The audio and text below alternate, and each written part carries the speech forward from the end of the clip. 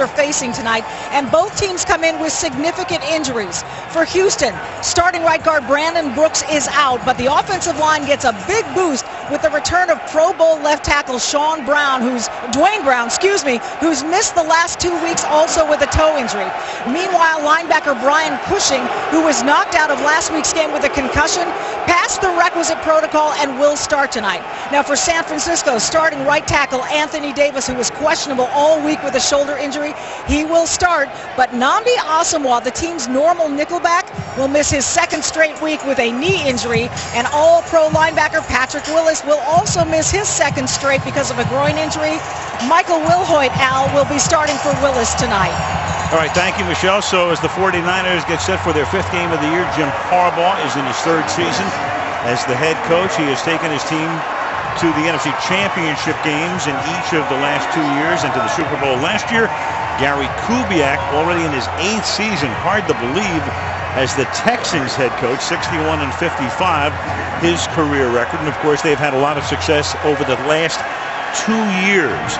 Phil Dawson, longtime Cleveland Browns kicker, who was picked up by the 49ers in the offseason to kick off the Keyshawn Martin, developing into one of the better return men in the NFL in his second year out of Michigan State.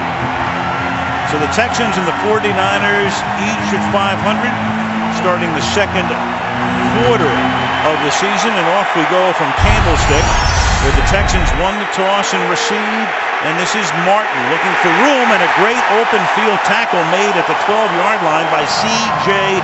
Spillman. The Texans with Schaub at quarterback. Let's take a look at their starters.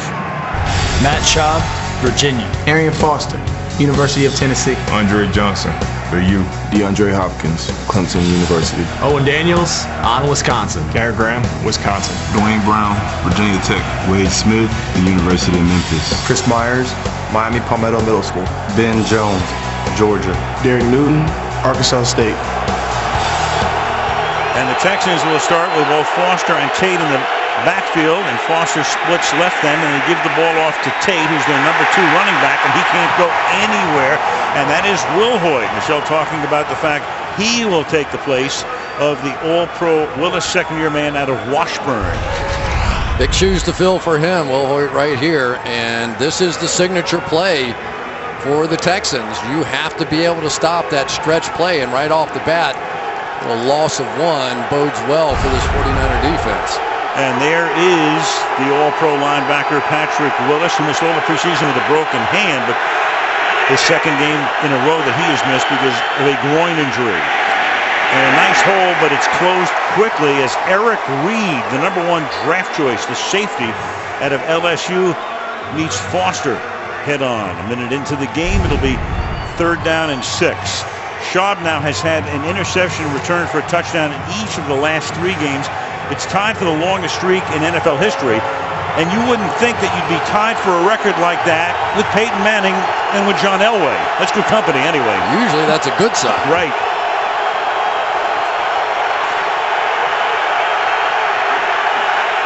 Third and six. Schaub from the gun. 49ers with a four-man rush. And then Schaub has this one picked off. And this is Brock running in for a touchdown.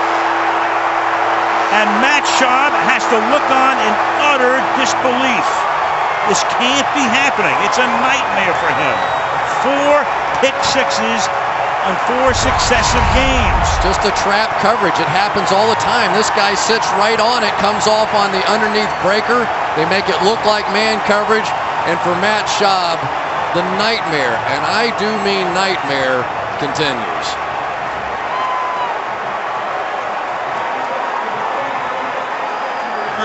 So the, the 49ers, 49ers score. Take the lead. Phil Dawson in to kick the extra point. The pick six by Tramaine Brock, who is a backup defensive back that played very well 10 nights ago against St. Louis. Seven to nothing, San Francisco just like that. Sunday Night Football brought to you by Southwest Airlines. You can find our fares online only at southwest.com. By Hyundai, new thinking, new possibilities. by the brilliant minds and machines of GE and by Frost Brewed Coors Light, the game's most refreshing beer.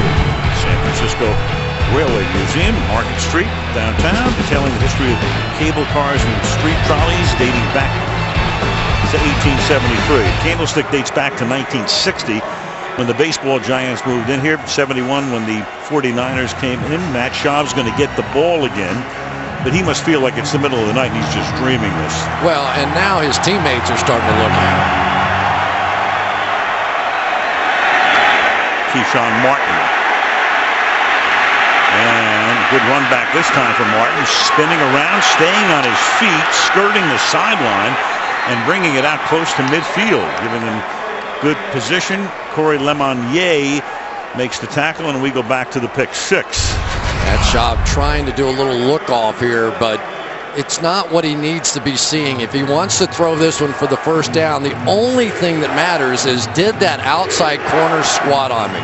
If that matters, if he does that, you cannot throw the football there.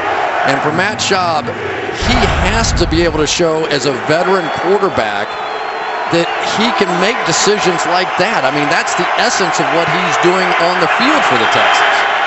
Arian Foster on first down can gain two yards before he's tackled by NaVorro Bowman, who doesn't get a lot of acclaim or publicity because he, of course, plays with Patrick Willis and a few other stars, but he does a masterful job. Well, especially when you consider now that he's playing out there without Patrick Willis, without Aldon Smith, and he was fantastic in their game against the Rams last Thursday night. They actually blitzed him a little bit more, two sacks in that game, and looked like a running back coming through the hole on the other side. Foster again over the left side. Stop there for a gain of one. Third down. Let's meet the 49er starters. Ray McDonald, the University of Florida. Glenn Dorsey, Louisiana State. Justin Smith, Missouri. Ahmad Brooks, UVA.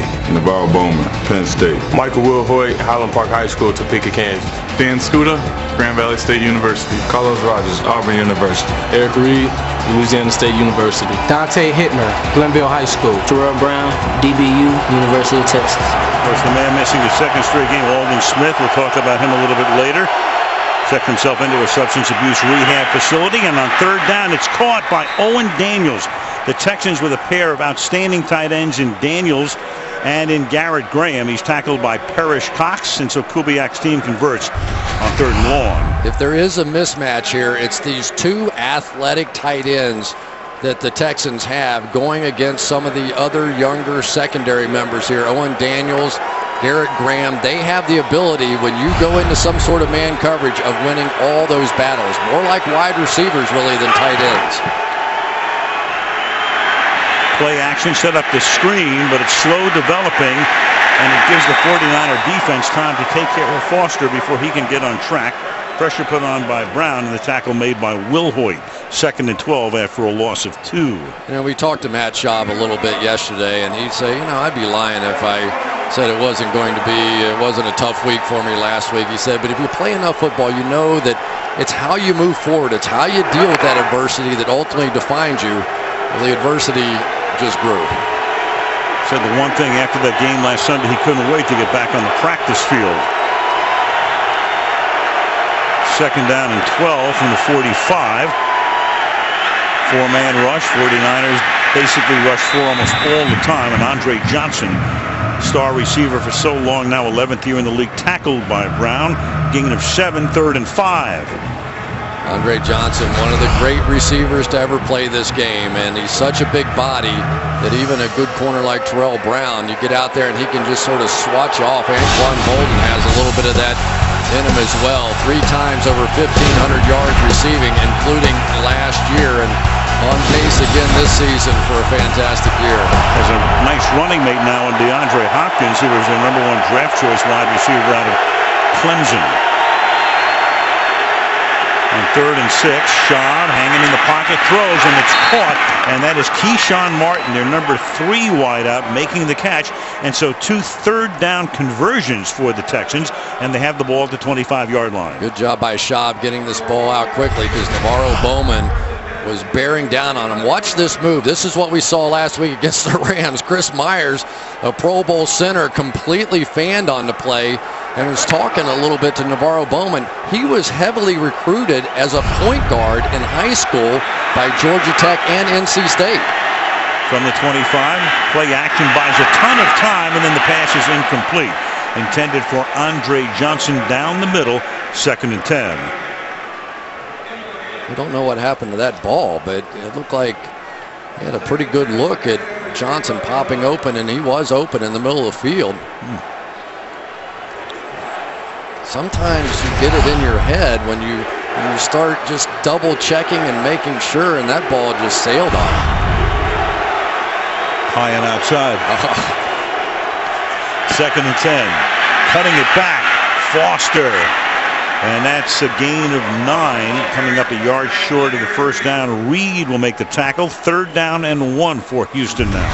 The hardest part about playing this team is everybody goes so hard that way that when the back does that, a lot of times there's nobody back there. Nice job by Wade Smith getting his linebacker on the ground backside. And now we're starting to look a little bit like what the Houston Texans typically look like. Zone blocking scheme, which they're noted for. Third down and one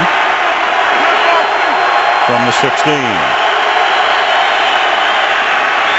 And this is Foster, and he'll pick up the first down. Wilhoite makes the tackle. We have our first flag of the game. And thus we will hear from Mike Carey for the first time tonight.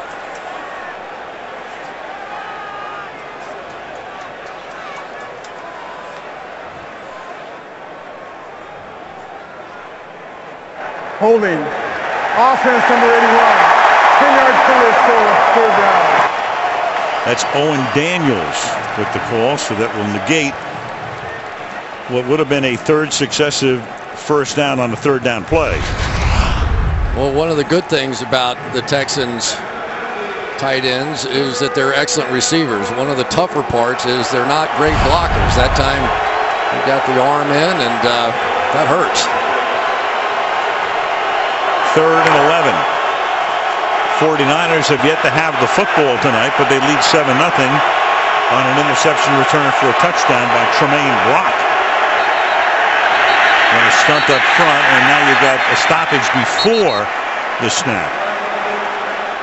For a full start. Full start. Offense number 81, five yard penalty, still third. Oh, so that's back to back on Daniels. Pro Bowl tight end. And you really have to, at this moment, everybody around Matt Schaub has to play really well. You know your quarterback's shaking. There's no way that you can throw your fourth pick six in the last four games and not be unnerved to some degree. So you've got to help him some. No penalties, make some plays, take the pressure off of him for a while. Third and 16. Pressure on, screen set up. Tate makes the catch, but he'll get tackled at the 26-yard line by Carlos Rogers, and thus the Texans will have to settle for a field goal attempt, which will be about 48 yards.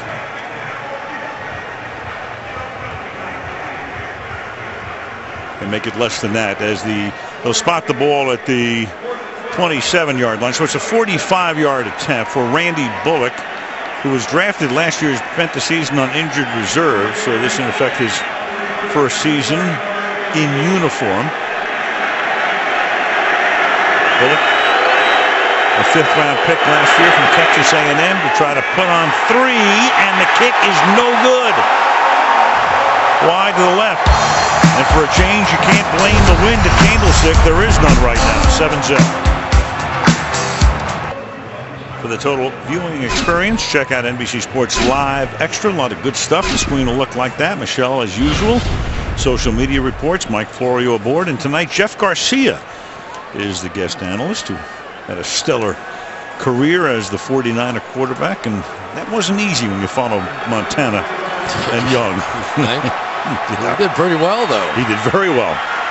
So after that missed field goal, the two penalties on Owens on uh, Daniels was the was the killer on that drive. The 49ers have it for the first time And Kaepernick's first play is a pass too high for Jon Baldwin, who came over from Kansas City a few weeks ago. Colin Kaepernick took over for Alex Smith.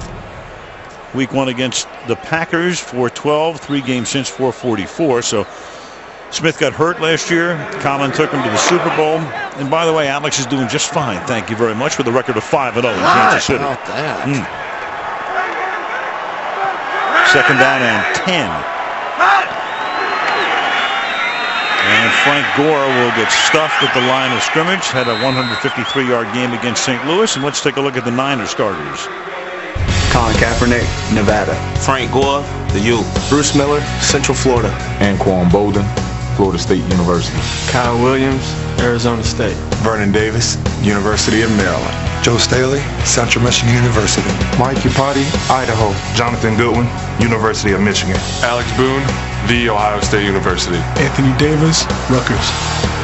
Outstanding offensive line, and that line, the interior five, making their 21st consecutive start.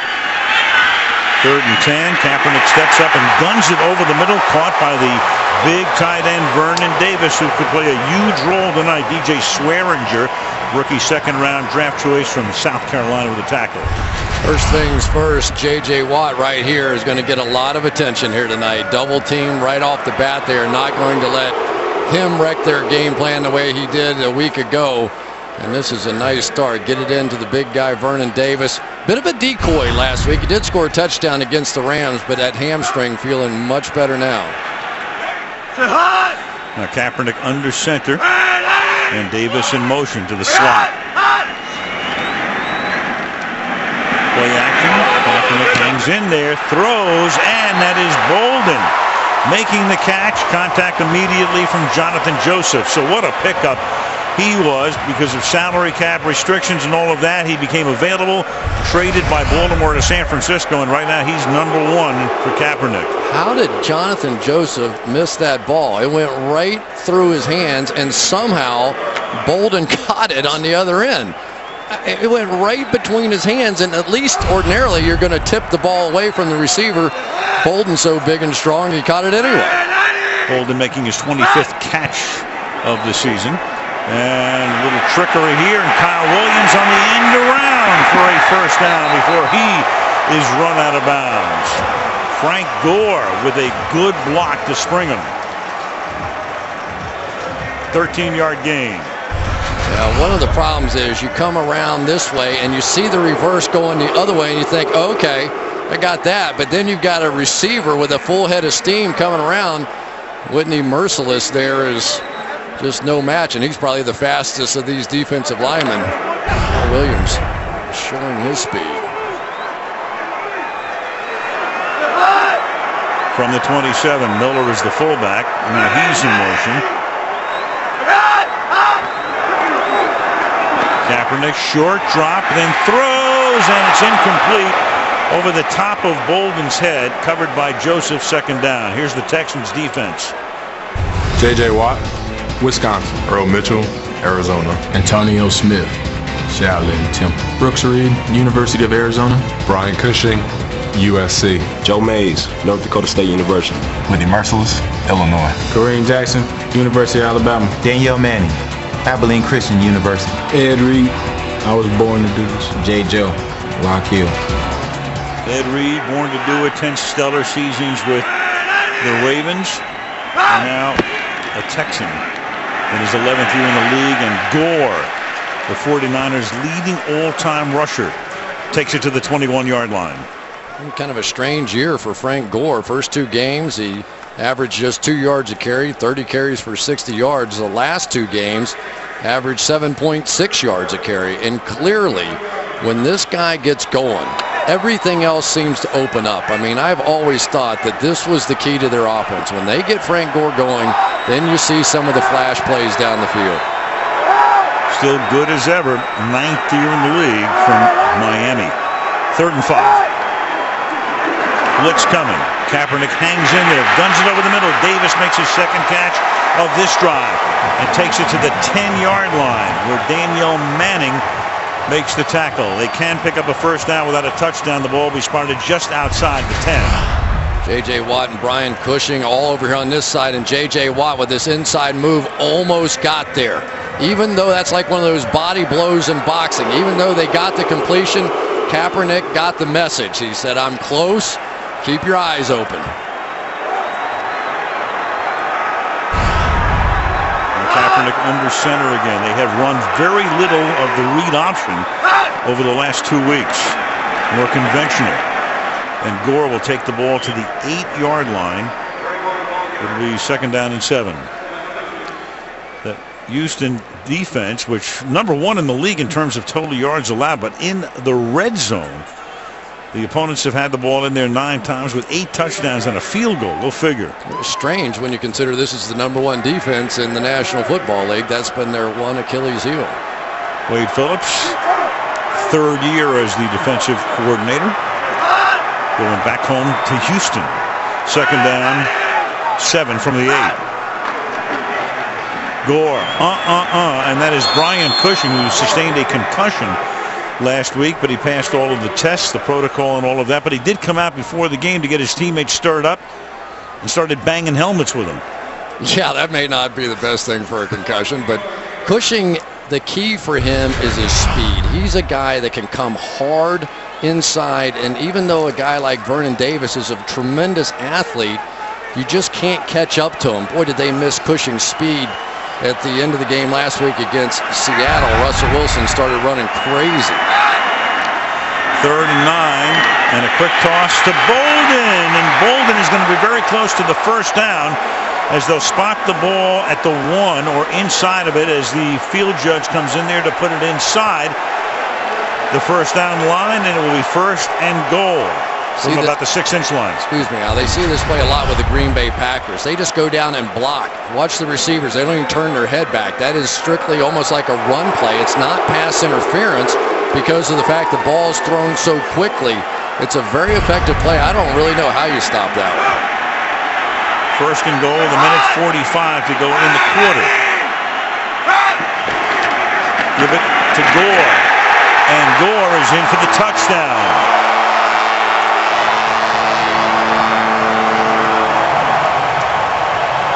49ers on that drive converted a third and 10, a third and 5, and a third and 9, and Gore takes it in. Alex Boone, one of many moving offensive line parts on this 49ers team. They can overpower you. And if there was one thing that Houston was concerned about was could the 49ers just line up and push us backwards? So far, that is not a good start. And for Matt Schaub, the pressure builds.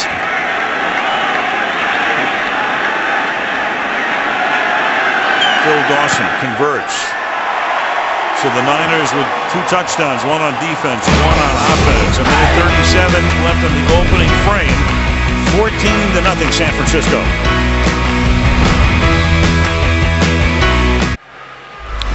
World's most wanted criminal just became their best informant, but behind every case there are deadly consequences. It's the premise of the blacklist.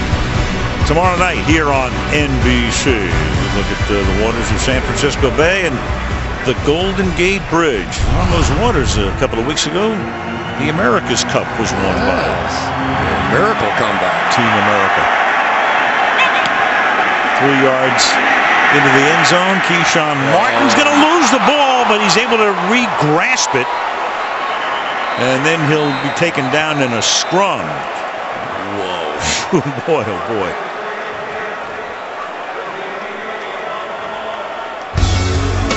And Martin pays a little bit of a price there. 14 to nothing, San Francisco. Vic Fangio is the San Francisco defensive coordinator. His group last year, second in fewest points allowed. And his group is on the field right now as Schaub tries to overcome a 14-point deficit. And Tate starts by breaking a tackle, which is something he does a lot. He's the backup back. He's been injured, though, over the past couple of years. They'd like to be able to get him in more and give Foster a little more of a rest. But there is Ben Tate who could provide a little double trouble out of that backfield for Houston. Yeah, just having a uh, big year, fumbled the ball once last week, but he is going to see a lot of action. Everybody knows about Arian Foster, but Tate a big part of this offense. Gain of eight, second down and two. And now to Foster, who burrows his way out to the 27 and a half yard line, close to a first down. We'll see where they put it down in the final minute of the opening quarter.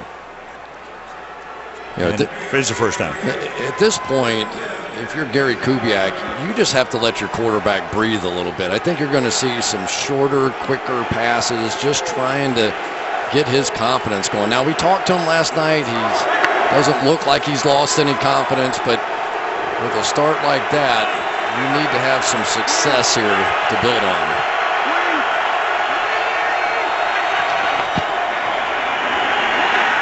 Play action, backside screen to the tight end Daniels.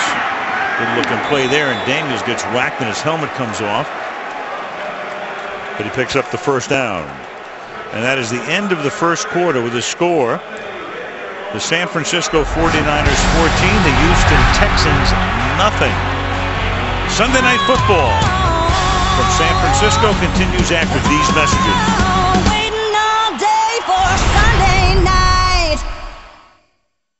Aerial coverage tonight brought to you by Geico. Look at this shot. That's aerial coverage. Sub sub coverage as well under the under the Golden Gate Bridge in downtown San Francisco. Mm. Out in front of you. Unbelievable. What a shot. Beautiful. Al Michaels, Cris Collinsworth, Michelle Tafoya in the Bay Area, and Foster taking it up to the 46. You know one thing, Chris, at the end of the game tonight, one fan base is going to be a lot happier at three and two, kind of feeling they're all the way back, or at least back. And the other fan base is going to go, what's going on here? Yeah, because let's face it, these are two of the teams that were Super Bowl favorites uh, coming into the season, and both of them a little uncomfortable. I will say this about the 49ers. They got hammered on the front end of this schedule. They have had nothing but tough teams to play on the road, this is a team that I think by the time that they get through these first six, they could go run off about 10 in a row. Second down and three. And that's a first down as Foster takes it across midfield, tackled by Dan Skuta. First down, Houston. Arian Foster is a guy that, again, we're going to get some of these cutbacks going here. And the one thing you'll notice out of the 49ers defensively, unlike a team like maybe Seattle, where there's a lot of times eight guys up around the line of scrimmage, you have the 49ers defense that really likes to play with just seven so they can protect in the passing game back with four guys back. So this front seven has to hold up. Foster runs into his own man and gets taken down by Eric Reid. Foster was undrafted, played his college football at Tennessee, signed as a free agent, but what a pickup he has been. Last week against the Seahawks, 171 yards from scrimmage. And you take a look at all the guys that were drafted the year he came out, including LeSean McCoy. He has far more yardage than any of them. Ben Tate comes back into the game at second down and 10. And Schaub steps up, throws short. His contact made. Andre Johnson looks around for a flag covered by Tarell Brown. There is no penalty. Third down. Yeah, well, you could see that Tarell Brown, I think, was trying to get his head turned around, outside receiver here. And as he turns around, all that contact just sort of becomes a part of the play. I think that's a good no call. Two minutes into the second quarter.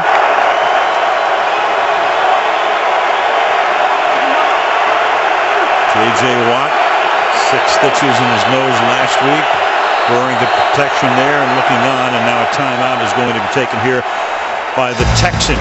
13.04 before the half. 14 to nothing 49ers. We'll detail the Aldon Smith story when we can here, but right now you take a look at most sacks since 2011. 38 by Smith.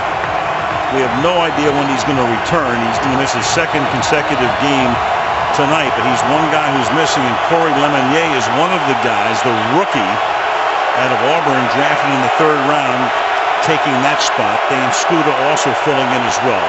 Meanwhile, after the Houston timeout, it's third down and 10.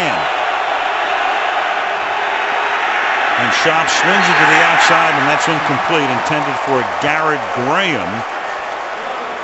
It'll be fourth down. Well, one of the things that nobody does any better than this bunch is this stunt right here.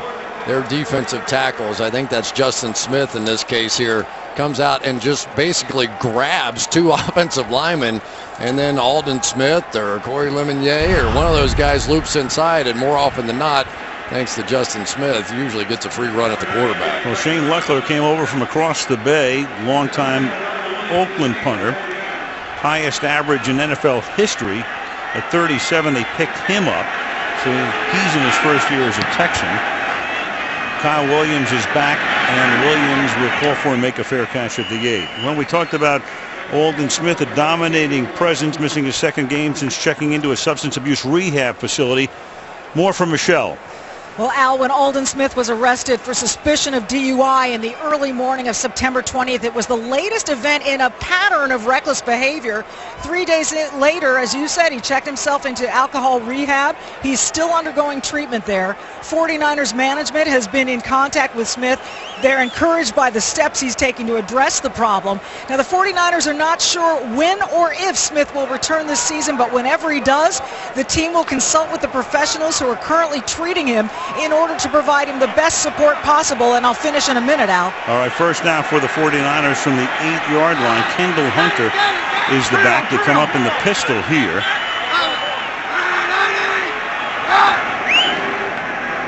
And they'll hand the ball off, and this is a first down run for Hunter. Back to you, Michelle. Well, the 49ers, Al, they're currently paying Aldon Smith his full salary, though they're not obligated to do that. Smith's first court date for the DUI is scheduled for November 4th. And apart from the legal side, the NFL confirmed for me that he would be subject to league discipline only after the case is adjudicated, Al. All right, thank you, Michelle. So it could be a quite a while before you see Smith back in a San Francisco uniform. First and 10 from the 19. And then there's Gore.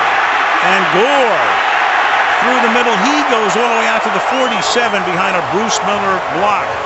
So Houston able to pin him deep, and then two runs by the 49ers, and they're already in the midfield, gain of 26. Start with Iupati here, and then follow up with Miller inside. This sort of trapping, whamming, all Al Michaels' favorite phrases, is just wearing defenses out. We saw it against the Rams last Thursday night. They had no answer, and so far the number one defense in football has no answer. First and 10 from the 45. And this time it's Gore who gets taken down by J.J. Watt. Defensive Player of the Year last season in the National Football League. Stuffs him for a loss of four. Right here. And I think this guy is more dangerous to run away from than towards him. He is so quick with that first step and just relentless. I thought his effort in the game last week, overtime game against Seattle, never came out once. Russell Wilson was running around like a crazy man. He did not take one play off, not one play that wasn't a thousand percent effort. I could not have been more impressed with the performance a week ago by J.J. Watt. Second down and 14. And Kaepernick guns it incomplete. Well, Watt last year not only the league leader in sacks and a guy who deflects and bats away pass after pass, but tremendous in terms of stuffing guys on the run.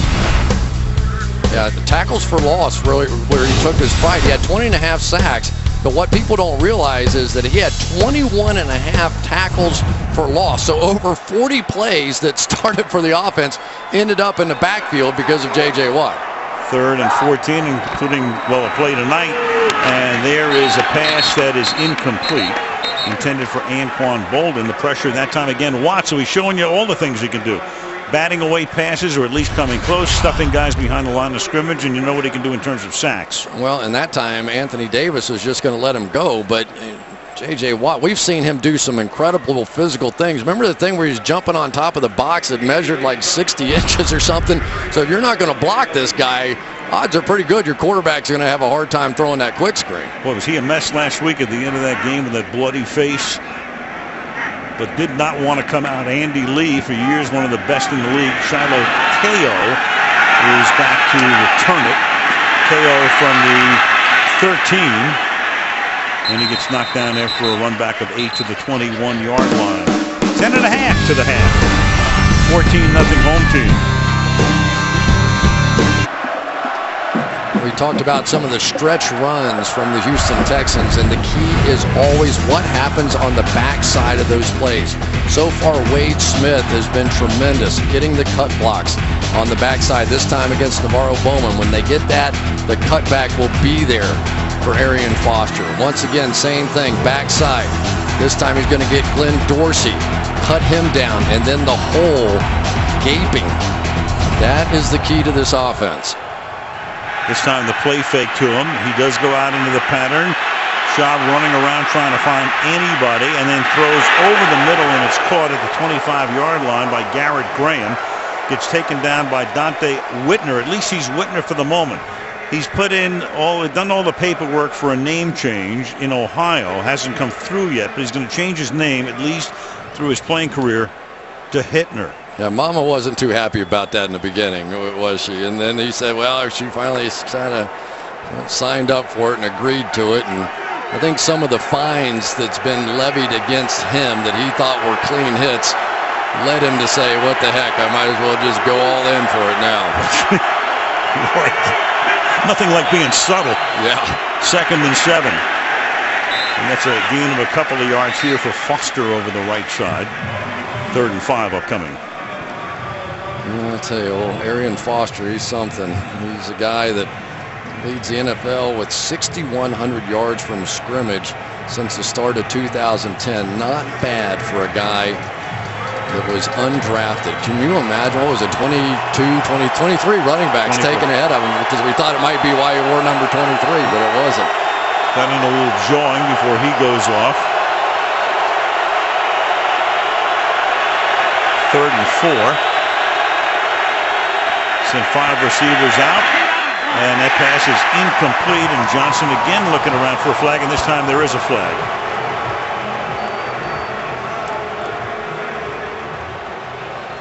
And Mike Carey. Haven't heard very much from Mike tonight. Only two penalties in the game. And they both came on back-to-back -back plays on Houston's second drive. I think there's going to be pass interference. Pass interference. Yeah. Defense number 25 from the spot of the foul. Automatic. First down. It's quite a battle going on on the outside. Here we go. Tarell Brown out there going against Andre Johnson. Physical, both sides physical. Oh boy, it's pretty close. Big break for Houston. From the 35 on first down. Tate and he gets stuffed there by Eric Reid. That's one of the reasons they found Dashon Goldson expendable, let him go to Tampa Bay because they knew they were going to pick up Reid in the draft, and he's been an immediate starter. Boy, Eric Reid came up and hammered that one, did he? But watch the how synchronized this offensive line is. I mean, they you can't believe how hard they work at making all their run and pass plays look the same. All their pass plays will come off of that same action. And then Schaub throws, but it's going to be short of the first to Owen Daniels. Taken down by Bowman. It'll be third down and two. I'll tell you, Al, the most improved player I've seen on this 49ers team is this Eric Reid, the safety. Uh, over the past couple of weeks, watching him grow as a player, they're starting to play him a little more in man coverage, which allows him to blitz a little bit more. And so far tonight, he's had two big hits. Dashon Goldson, the guy he replaced, would have been proud of either of them. Keyshawn Martin, who was shaken up on a return, a quick return earlier, is back in the game. Their number three wideout. They give it to Foster. And Foster, with that second effort, that burst after contact, picks up a first down. And he's been jawing with all the 49ers tonight.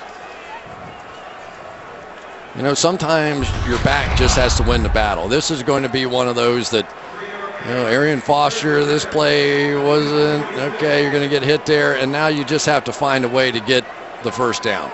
And that's what great backs do. People forget how big this guy is.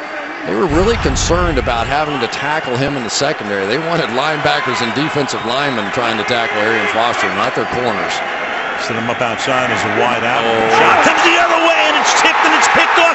And this is Brock again. And he'll get spun out, out of bounds by Johnson. So a second interception for Tramaine Brock. The other was a pick six. This gives the 49ers the ball in Houston territory.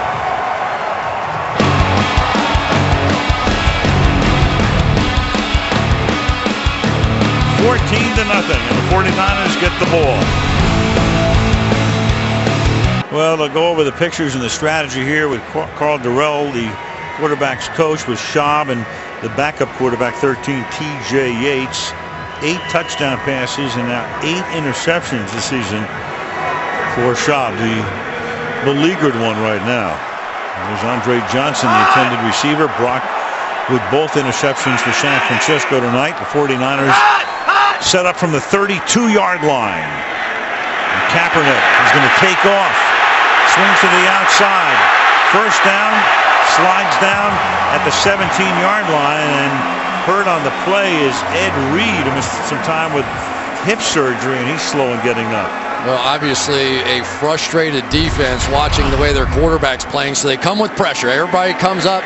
Now it's Colin Kaepernick, just like Russell Wilson did a week ago finding the little seam and taking off. That is a backbreaker for anybody trying to blitz, and J.J. Watt thought he might have gotten a hold, did not. 14-yard run. For Kaepernick, and now Gore. And Gore inside the five sets up a first down and goal. Mike Iupati helping to spring him on the block. So two big runs and a first and goal for the 49ers. Oh, you got Mike Iupati going to come right over and kick out again. They are just destroying people with their trap game and the wham game. And believe me, if nobody is blocking you and you're playing the San Francisco 49ers, look right or look left. Somebody is about to hit you in the ear hole. First and goal. To the outside goes Gore and gets about half the distance. It'll be second and goal. And back to the interception that set this all up. Tramaine Brock, watch him. He never even looks at Andre Johnson. He is looking at the quarterback in the backfield. And by the time that Matt Schaub was able to set his feet and throw it out there, try and look him off a little bit. Now he's sneaking a peek, and that was all Tramaine Brock needed. Brock, a huge play in the game last week, and for Gary Kubiak, he's got to be thinking about making a change. Anthony Dixon is the tailback in this show. Give it to him. Dixon to the outside, and he will strut in. Good block by Alex Boone. And Anthony Dixon's initial run of the night results in a touchdown.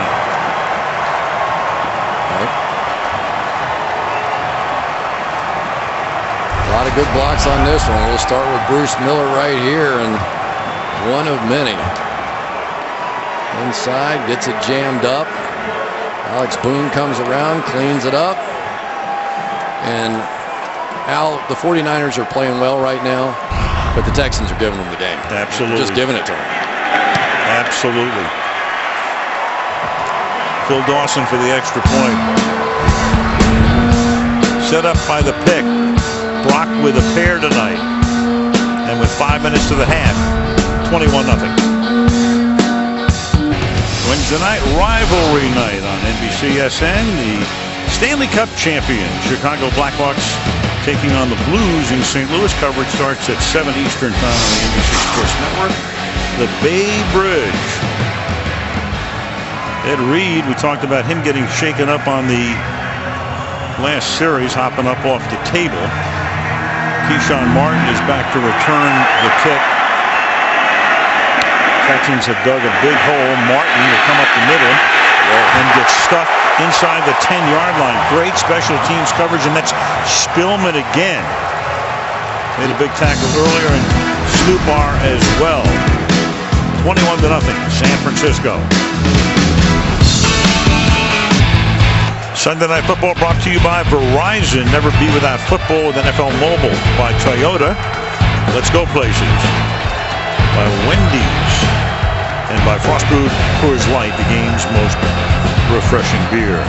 University of San Francisco. You saw Bill Russell commemorated there. Pete Rozelle went there.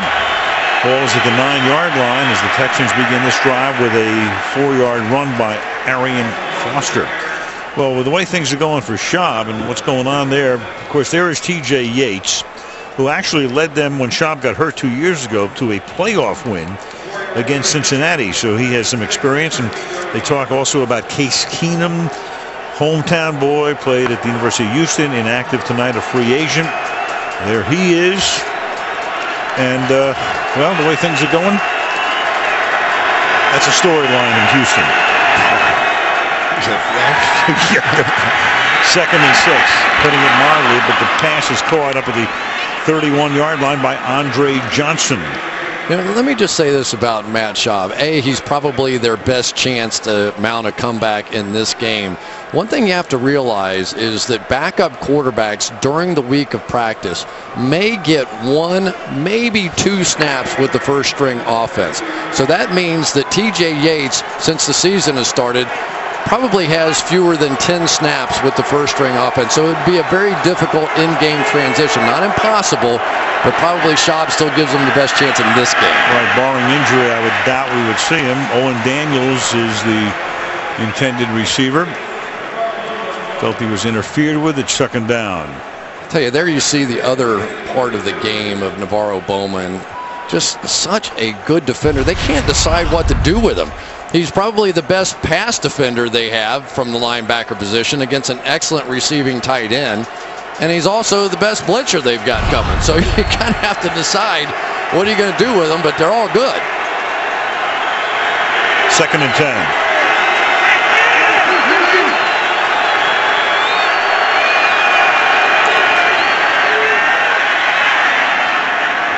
Launching it deep.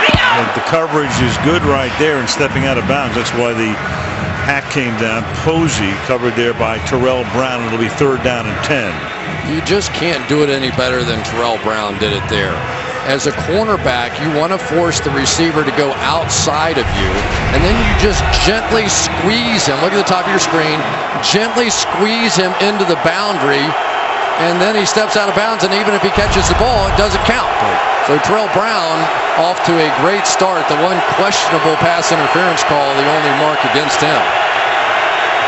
Third and 10, three and a half to the half. Schaub throws, caught, but making the tackle is Bowman on Foster. And so he will come up short of the first down. It'll be fourth and a couple. Interesting decision here. Very. Because you're down 21.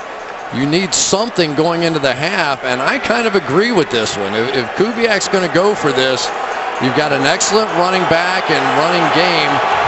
Take your shot right here. Fourth down, and looks as if it's a short two yards, yard and a half. At least they're going to line up to go for it.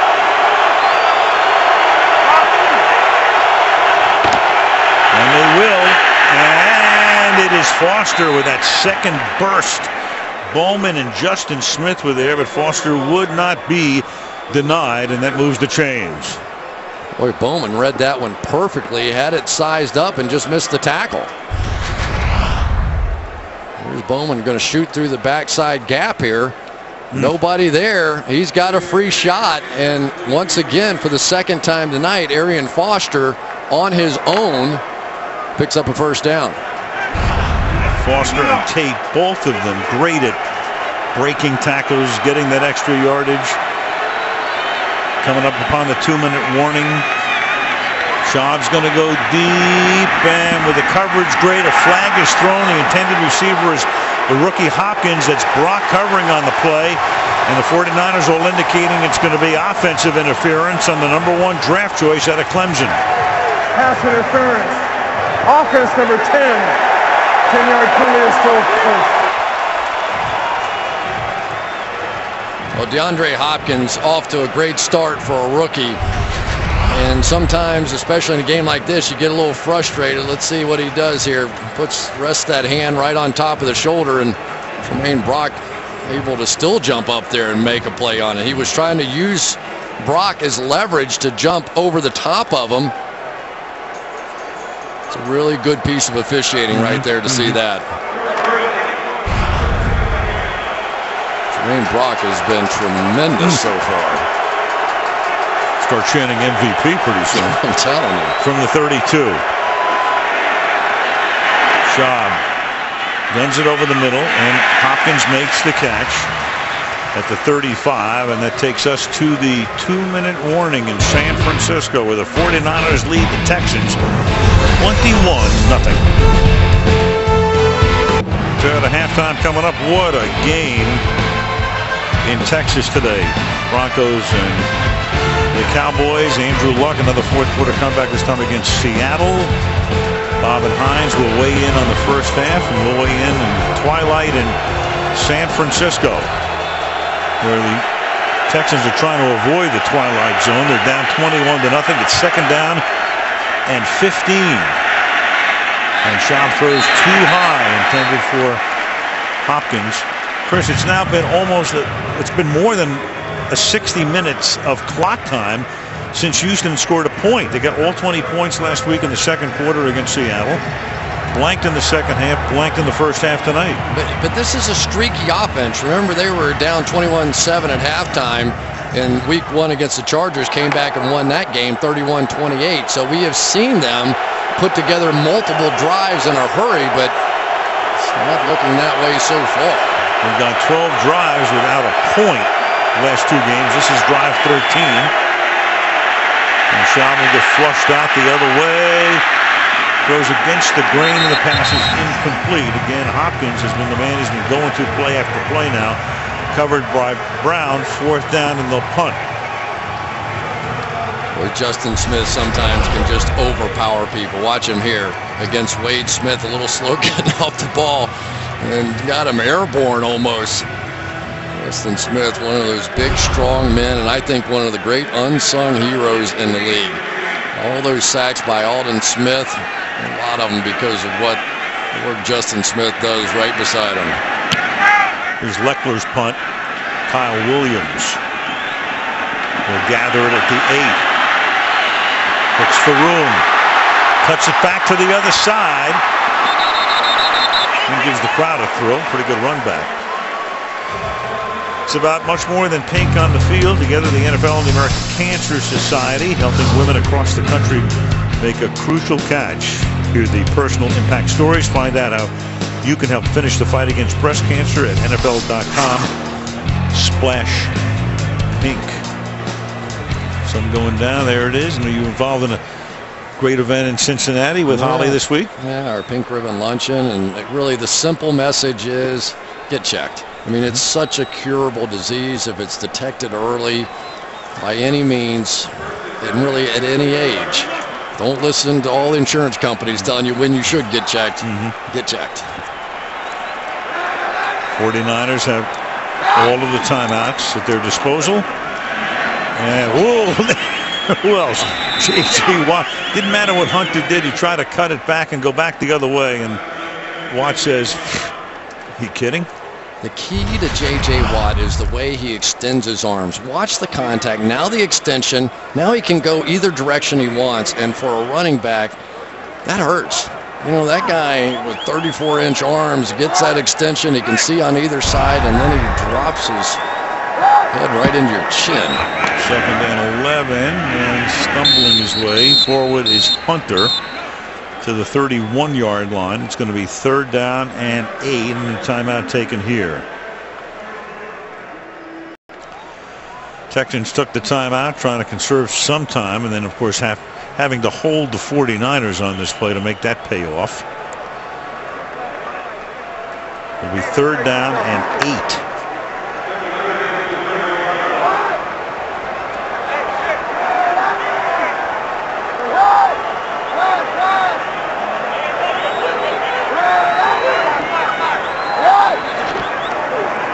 keep it on the ground.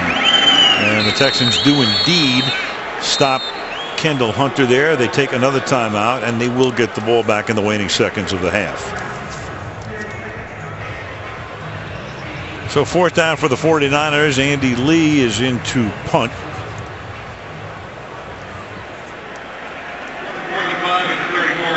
Houston will have no timeouts when they get the ball back. We'll see if Martin can set him up with a, a decent return. It's a line drive kick. And Martin from the 23. That's the kind of kick that you can set up a decent return on. But that minor with a shoe being lost, that minor coverage is just great on special teams. And he brings it back to the 31 yard line with 37 seconds left. You know, that's one thing the Niners have done over the years. They do keep those special teams guys. Kassim Osgood, so good. C.J. Spillman, tremendous on special teams. And they don't have just a bunch of rookies out there doing it. They have guys that know how to play special teams. And it's been a factor so far here tonight. There is Osgood. Been to the Pro Bowl as a special teamer. All right, you're my odds maker. Yeah. Who has the better odds of scoring here? That's a good question. I'm going to say the Texans. Okay. 53 47. In a tight one. There you have it. You'll take any proposition, won't you? Correct. From the 31 yard line. Schaub throws, and that's caught up at the 34 by Garrett Graham. It's a short gain. No timeouts available to them, so Schaub's got to get to the line in a hurry. And if you're going to spike it, you got a lot of stuff going on here, and you won't have time to even do that. It won't do him any good here, trying to get into field goal range. And that'll be caught by Johnson, but now you got to get up and spike it to at least have one more play left. Still not even close to field goal range. Oh, so, and they fumbled the ball. Yeah, right. And the official loses the football, and well, that's a fitting coda to the first half for the Texans. Couldn't even get the ball spotted. 49ers get the second half kickoff. Kubiak mumbling at the officials. 21 0 at the half. Go to halftime next.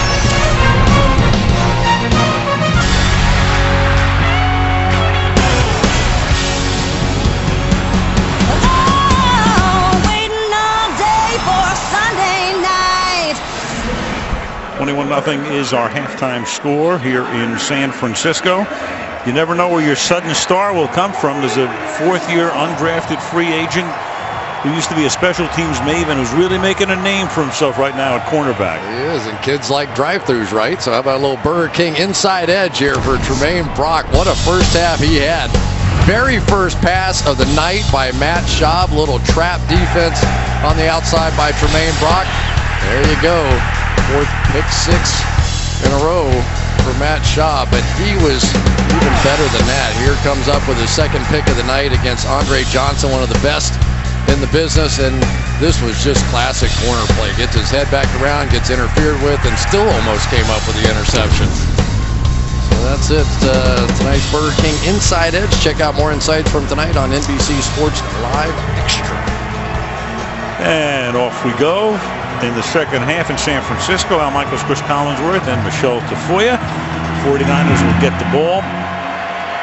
Randy Bullock sends it into the end zone and through the end zone. And we go to Michelle. Well, Al, the big question for Gary Kubiak was what is his plan at quarterback? And he told me we're sticking with Matt Schaub. He planned to go in at halftime and tell him to get back out there and get after it. And he said to me, I have bigger worries like the play of my defense, special teams, and actually protecting my quarterback. As for the Niners, Frank Gore, who you saw on the sideline at the end of the first half, he is fine. Uh, Jim Harbaugh told me he's expected to come back in. They just retaped his ankles, Al. All right, thank you, Michelle. Yeah, Gary's got the whole smorgasbord here of issues. 21 to nothing. The ball is at the 20 yard line. They start with Hunter in the backfield. And once again, Kaepernick under center. Play action. Feed on down the sideline and incomplete. Vernon Davis had gotten free for the moment with safety help coming. At the end, incomplete second and 10. Well, that hurts because that was wide open. But that's the first time I've seen what looks like a bit of a sore hamstring from Vernon Davis. Watch the tail end of this play. is one of the fastest guys on the field, but you didn't see that little burst that we've seen. Remember in the playoffs, some of those plays, those wheel routes down the boundaries where he catch them and just take off. Still a little gimpy out there. And meanwhile, Ed Reed is not in the game to start at safety. Shiloh Keo takes his spot, second down and 10 from the 20-yard line. Kaepernick throws, and that is knocked down, and this time it's not J.J. Watt. It's Jared Crick who pulls it. J.J. Watt batting it away. Well, it doesn't matter who it is, I guess, for the Texans. Here's Crick right here. He's going to jump up and look like J.J. Watt on that one. But kind of interesting strategy, don't you think? Come right out, throw a couple of balls. You really, if you sort of sustain a drive here and Maybe they were just going for the kill mm -hmm. right off the shot and really had it. Uh, Vernon Davis was wide open. Kaepernick just missed the throw. Agree with that. Kaepernick is 4 of 10 for 45 yards tonight.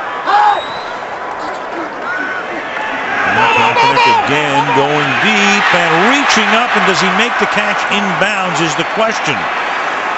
Jon Baldwin, who came over from Kansas City, but he's out of bounds, so they picked him up in a trade um, at the onset of the year, and Johnathan Joseph, one of the very best in the league, is there for the coverage. Yeah, Johnathan Joseph gets whoever the best of those other receivers are, and they really were hoping to get Jon Baldwin going tonight because he is always going to see one-on-one -on -one coverage with Vernon Davis and Anquan Boldin on the field, desperately seeking that third wide receiver kind of threat on the outside and just can't seem to find it.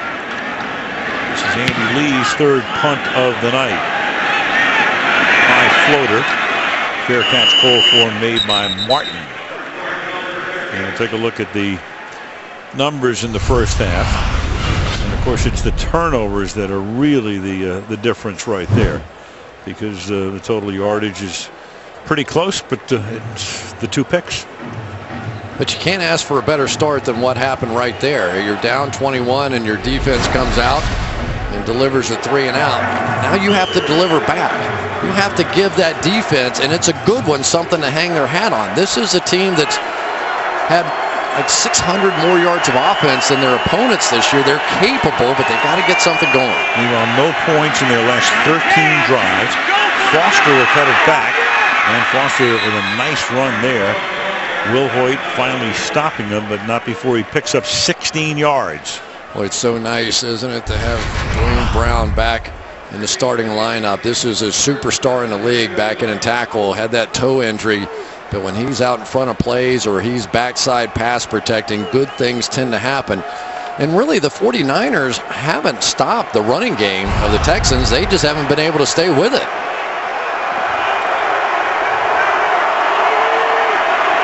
From the 50. Foster again, swinging to the outside, taken down from behind by Dan Skuta. You go back to halftime of last week when the Texans were leading Seattle 20 to 3 to tonight, and those are the numbers over the last four quarters. You know, I can remember a playoff game where Brett Favre threw six interceptions, and after the fifth one, I said, oh, he may not even throw another pass, and he's still gunning it out there. You know, as a quarterback, sometimes you got to suck it up and just go take your shot. You cannot run and hide. Second and eight. And Schaub guns it over the middle, and that is caught by the rookie. That's DeAndre Hopkins, tackled by Brock, and it's a first down to the 30-yard line. Well, this man coverage has been working the entire night. This time, it's Hopkins who's going to win the one-on-one -on -one battle. Good route, stemming him back up. That was needed. If you start working the inside some, maybe some of the outside throws can begin to work and you can take your deep shots over the top, but you have to get something going inside in the middle of the field. I'm surprised these tight ends haven't been a bigger factor so far.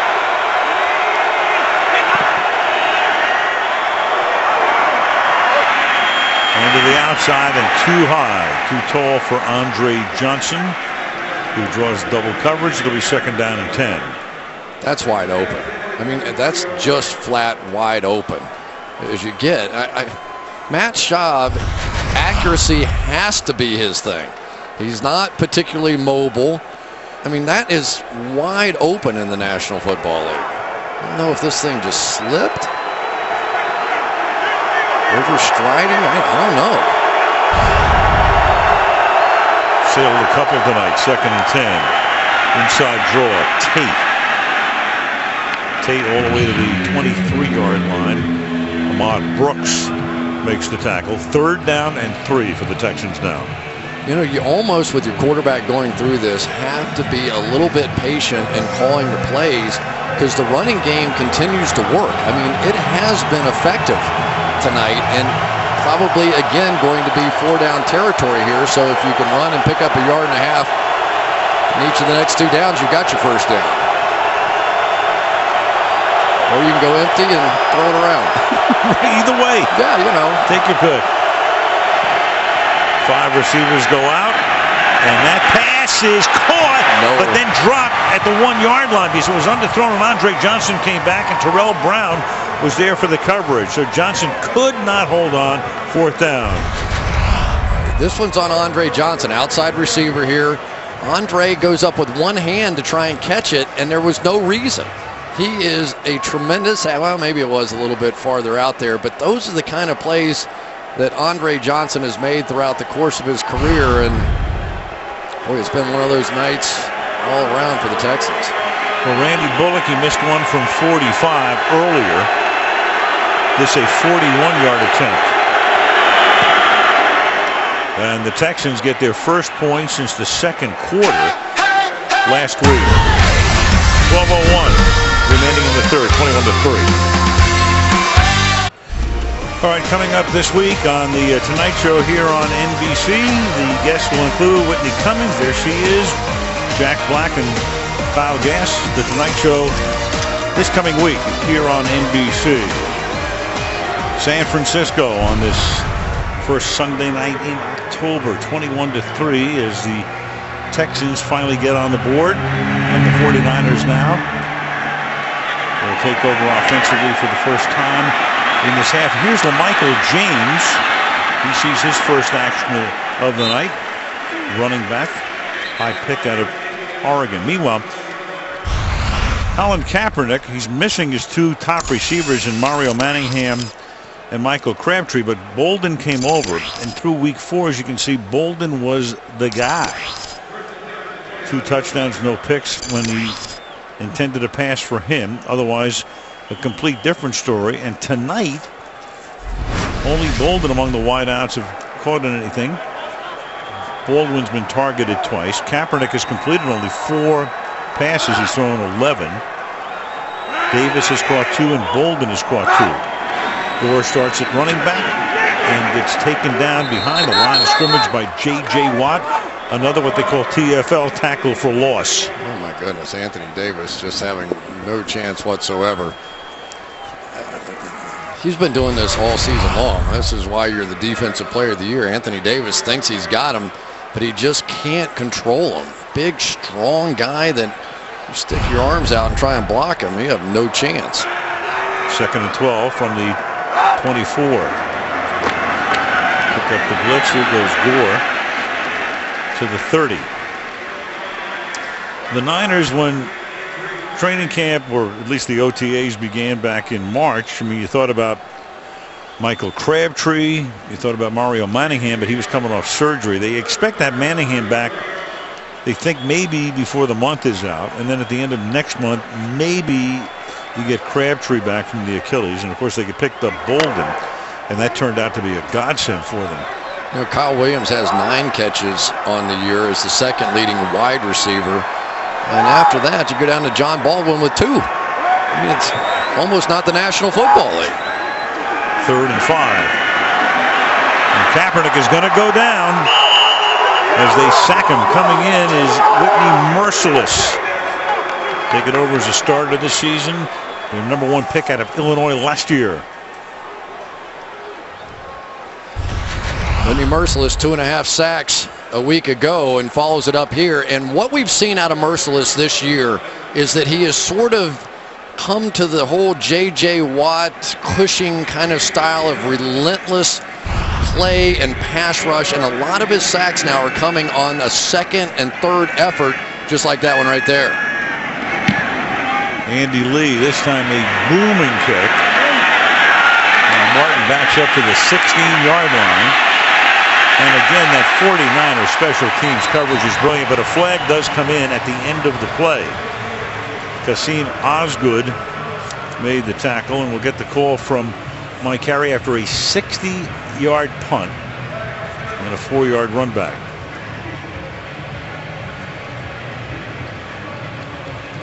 You know, it's interesting. Colin Kaepernick really hasn't even had to make any plays tonight. No. During the return, holding receiving team number 34, half distance to the goal, first down, timeout.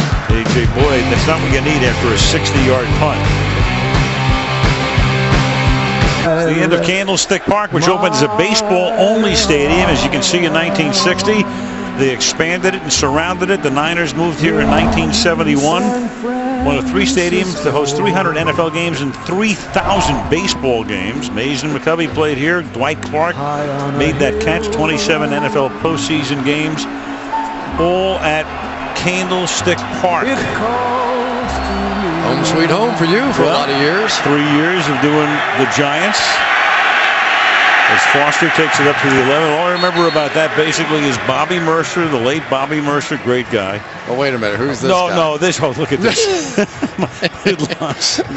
All the oh. different hairstyles of Mr. Al Michaels. I, I You're a handsome feller. Look at you. I couldn't find a barber in those years. Bobby Murcer used to put his bats in the sauna to keep them warm and had the bat boy come out and bring them to him in the on-deck circle. Second and nine. And that pass is incomplete intended for Andre Johnson. Third and nine. Most famous moment here, the catch? In, in football, for sure. Well, there was, a, there was an earthquake in the World Series right. in '89. Of course, that was. You were here for that too. That was a, a famous one. And 49ers, of course, have had such success over a two-decade period. And there's Dwight Clark in the Ring of Honor. Great wide receiver. They had a phenomenal run through the 80s and 90s with Walsh and Seifert. Steve Mariucci, third and nine. And Schaub goes down back at the five, and Ray McDonald gets the sack. So you have a 60-yard punt, you have a penalty on the run back, you've got a fast three and out, now they're going to punt. And JD needs some attention. Gary Kubiak has the right play call. They got a pick in the middle of the field. It's the easiest play to execute against man coverage there is, and they screw that up. They don't even get any kind of a rub action. They don't get anything to pop anybody clear. Just simple execution is part of the breakdown here tonight. Shane Lechler to punt.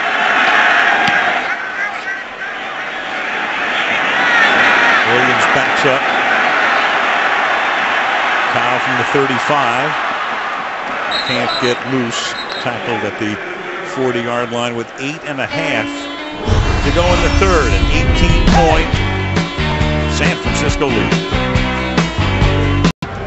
Well, in the NFL, if there's a triple crown for a defensive player, this man is the winner. Last year, led the league in sacks, 20 and a half. Led the league in deflected passes, 17. Led the league in tackles for loss. We were talking to him last night. There he is. And I said, of the three, I mean, is there one that you're most proud of? And he said, absolutely tackles for loss, because that shows that I'm playing very hard on first and second down as well as third down, not just pass rushing. Here's Frank Gore. Look at the room, and he gets tripped up by Kareem Jackson. And what about last week? There he was, and in all of the other sports, if you look like that, you're out of the game until you get cleaned up. But uh, in the NFL, it's it's different, and he stayed in the game. Here's a guy who, as a kid, played hockey. Can you imagine him as like a 13-year-old? He actually played in Europe with a junior team. He looked like he was in the penalty box last week. Yeah, won the uh, big tournament in Germany. He's the leading scorer over there. I thought he scored too. Oh boy. Here's Gore. Well, as he's been all season long, J.J. Watt, there's a reason why he's the reigning defensive MVP. Those arms extended, the eyes in the backfield, and a big hit that follows. Trying to cut him off on the backside of plays has proven to be nearly impossible for Anthony Davis here tonight. If there's somebody playing better than that guy in the NFL, I don't know who it is. Third and six. People likening him to the Howie Long in the way Howie used to play. Kaepernick throws and the pass is incomplete. Here comes a flag and Boldin was the intended receiver and Bryce McLean starts to argue right away.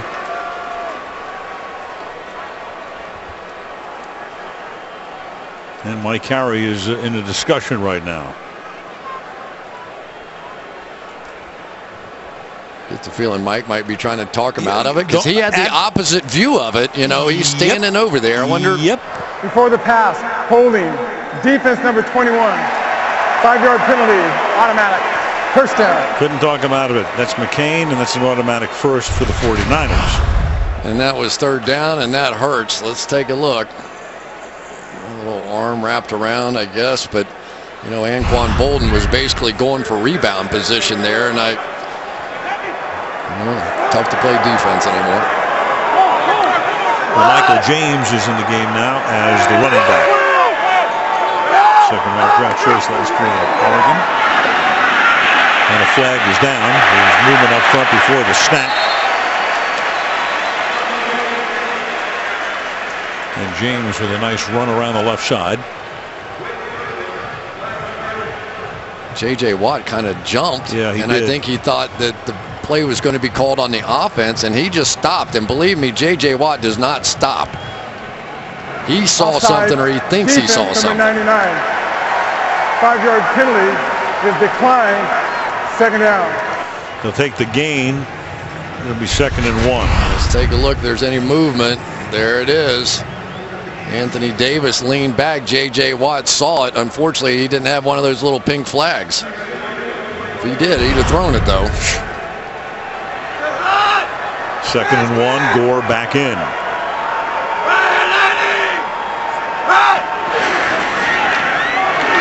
Gore gets the first down and a lot more.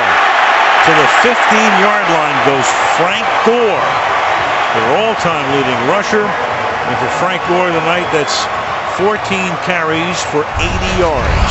Double jumbo here. You've got Adam Snyder right there and Kilgore right beside him. So seven offensive linemen in the game, and they just overload this smaller, quicker Houston Texans defense that has to be getting pretty frustrated right now. Six and a half left in the quarter. Well, flag.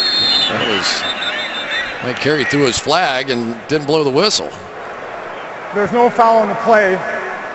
There's no foul for a false start. First down. All right. a lot of stuff and nothing happened. Uh, none of it's been particularly good for the Texans. Jim Harbaugh goes to the specs. It's like Mike Carey gave it the uh, like a center, you know, snapping the ball like fake snapping a thing, and Carey threw it, and he almost wanted to catch it. You could see, you could see him almost trying to catch it out of midair. Oh, I got to blow the whistle now.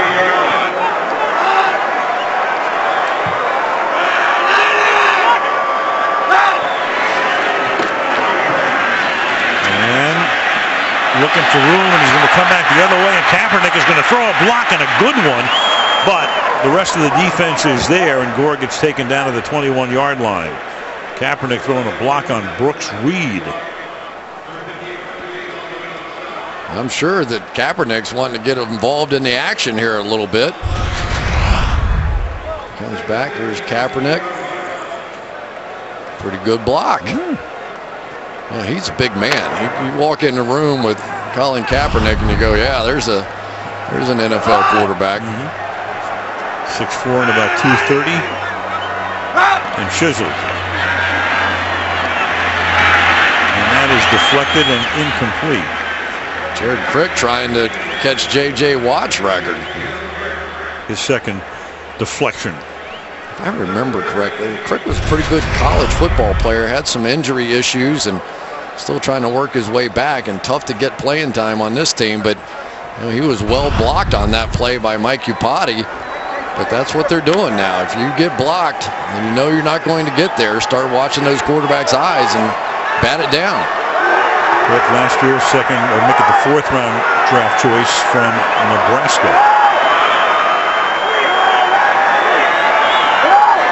They go five wide. Kaepernick slings it over the middle into traffic and incomplete. Vernon Davis running right down the seam, and it's fourth and 15.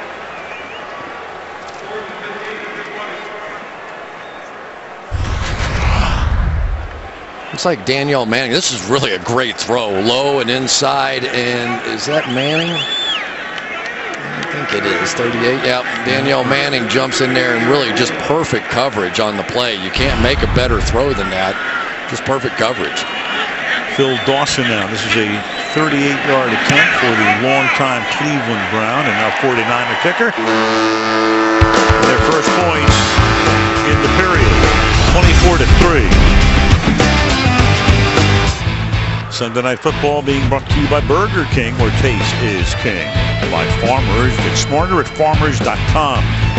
By Nissan Innovation for today, innovation for tomorrow, innovation that excites. By Bud Light, official beer sponsor of the NFL. Well, at halftime, 75 breast cancer survivors were honored by the 49ers. Each survivor was presented with a pink rose. Joe Staley's mom as well, Jan, a breast cancer survivor mm-hmm. Very happy that she didn't have to go through the whole thing. A lumpectomy for her and doing fine. So congratulations to Jan. Phil Dawson skyward, taken by Martin at the one-yard line. And Martin taken down by Craig Dahl. So where do we go next Sunday? We go down to Arlington, Texas, the Washington Redskins come off a bye week and they won their first game of the year in Oakland last week. Football night starts at 7 o'clock. Oh, Tony Romo and the Cowboys an unbelievable day. Tony for 506 yards, five touchdowns, a 140 rating against Peyton Manning. And at the end, it was Denver staying undefeated at 5 and 0, and the Dallas Cowboys go to 2 and 3. Washington and Dallas. And that pass is incomplete. A lot of crazy stuff going on in the end. NFL. The Giants are 0 5. See if Washington can get on a roll. I mean, Dallas, you know, there are there are losses and then there are losses, and that's one that just has to stick with you today. Well, even a team like the New York Giants, you go, okay, they're 0 5. Their season's over. First place is 2 and 3 in that division. So everything is still possible in the NFC East as it used to be in the NFC West, and we had that Seattle St. Louis game a couple of years ago with the winner going to the playoffs to the sub 500 mark. Ben Tate stopped at the line of scrimmage. Here's Michelle. Well, guys, starting defensive tackle Ray McDonald out for the 49ers, so they're down to four defensive linemen now. Tony Jerod-Eddie is in there for them. And McDonald left with a biceps injury done for the night, so Glenn Dorsey and Justin Smith were on the sideline coaching up Tony Jerod-Eddie, and he is in there for him. All right, thank you, Michelle. And of course, you know Aldon Smith's missing. You know that Patrick Willis is missing the, the linebacker spot. So the 49ers deep depth right now, paying off. It's third and nine, and the pass is caught. And seeking that first down and getting it is Garrett Graham as he crosses the uh, the 30-yard line. Well, they're trying to create a little pass rush inside by standing up some of the defensive tackles and letting them go to work but just unable to get the pressure. And it's amazing that without Aldon Smith, and they still haven't brought extra pressure. They have basically just played their seven guys in there, just like Aldon Smith. They've just rushed four for the most part, and still just three points. Here goes Tate. Well, Houston just loves to run to the outside. They're known for that.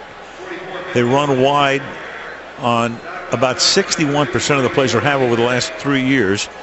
And there's Foster who's stretching out along the sideline, and that's the hallmark of of that zone blocking scheme, stretch offense, stretch runs for Kubiak. And really the key, I think, is the play of Ahmad Brooks on the edge of that defense. Trying to take it away. Second down and four. And almost intercepted.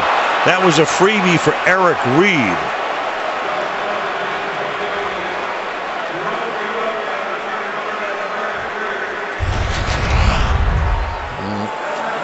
Right here, and he's going to break on the ball. And in my mind, this is a weakness of Matt Schaub. When Matt Schaub's on a rollout, or a plan play, a bootleg, one of those kinds of things, his numbers are through the roof. When he's flushed out of the pocket and just scrambling, not so good. Foster back in. Third and four. Boy, do they ever need a conversion here to try to stay alive. And now you got to whistle before before this one. Offense number 75. Five-yard penalty is still third down. Right tackle, it's Derek Newton.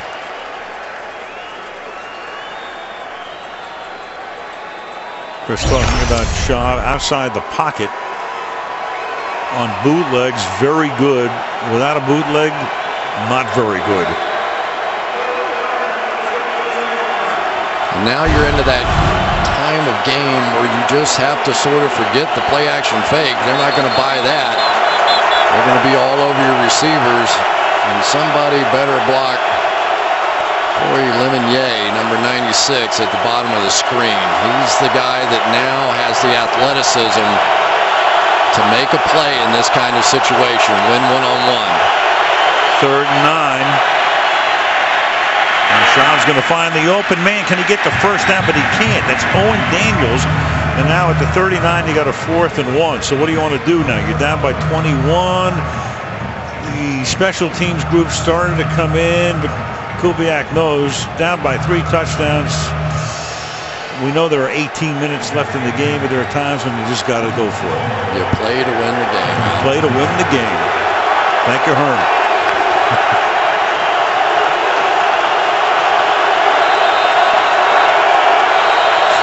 and one.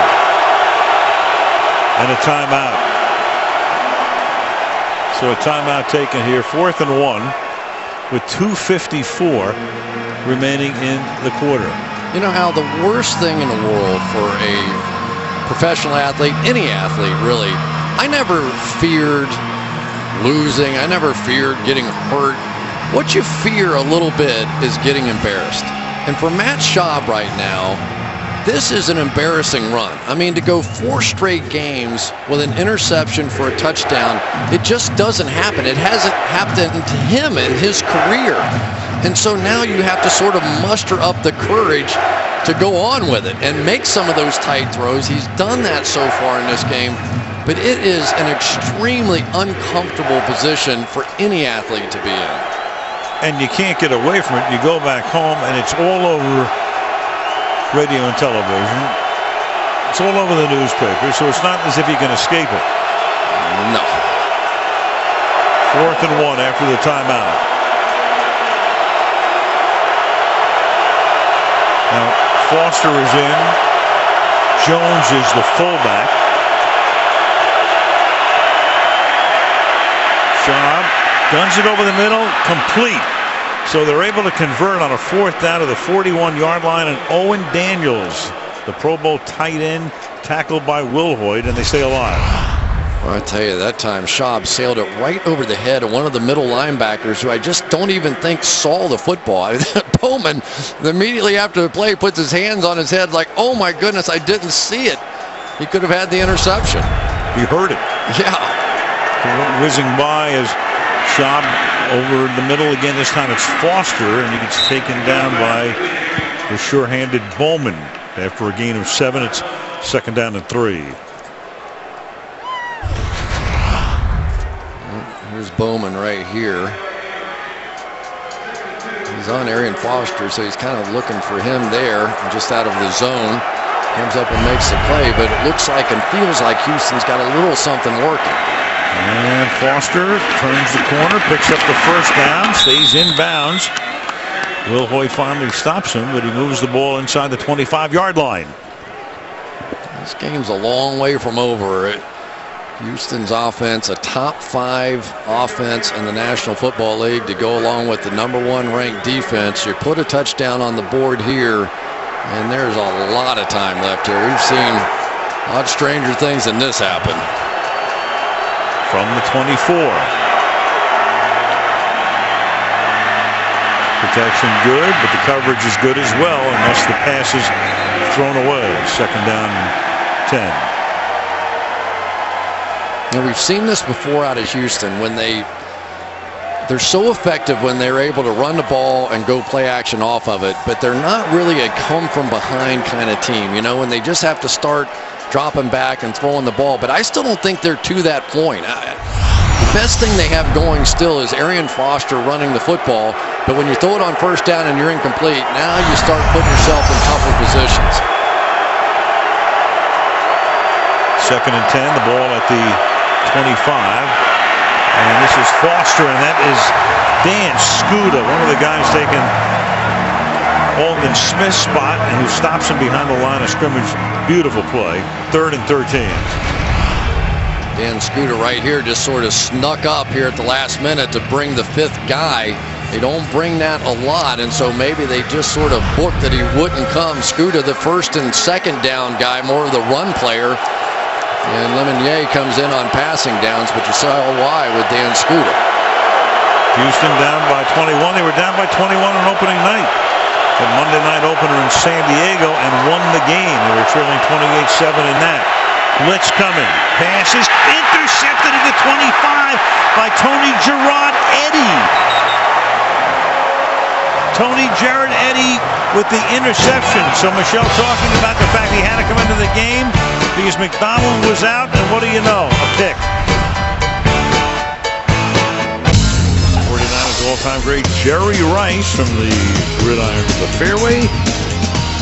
Golf's ultimate reality competition, Big Break NFL from Puerto Rico, premiering Tuesday night on the Golf Channel. Look at the Bay Bridge, Kubiak Rashad, Tony Jared Eddie, practice squatter last year, played his college ball at Texas A&M. Zone blitz, he's in coverage, and 63 picks up the third interception tonight for the 49ers.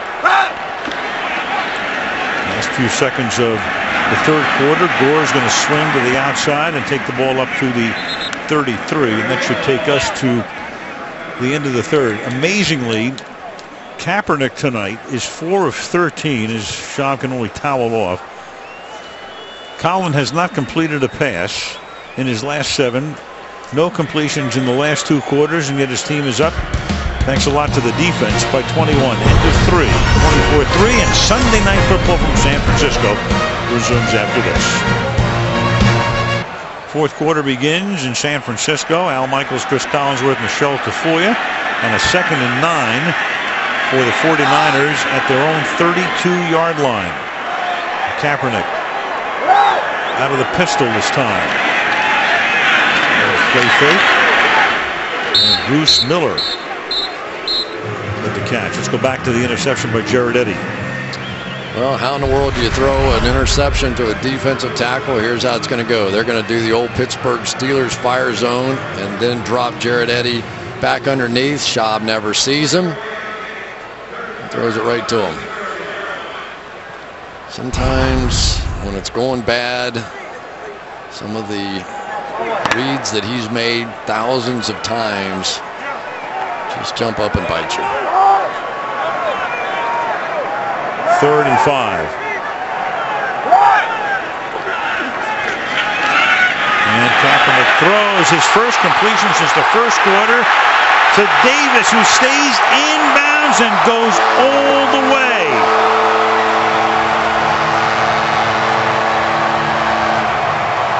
Sixty-four yards for the touchdown.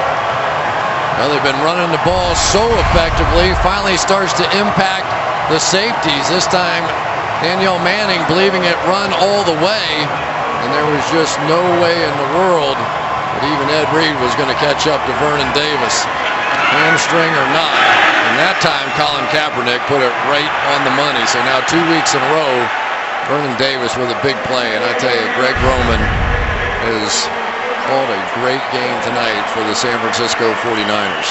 Frank Gore, nice block on the blitzing Swearinger. And there he is, Greg Roman, who can only smile as he looks at the replay. Kaepernick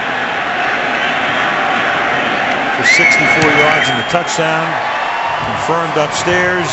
Dawson for the extra point, and it's 31 to 3, 49ers.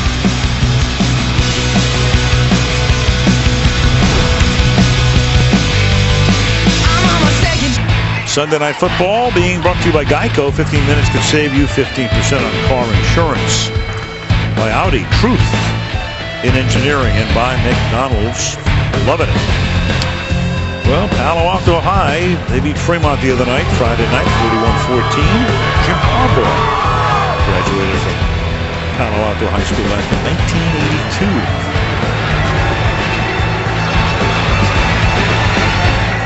Dad Jack coaching out here. Quite the uh, coaching tree now, huh? I'll say. All under one roof. Yeah.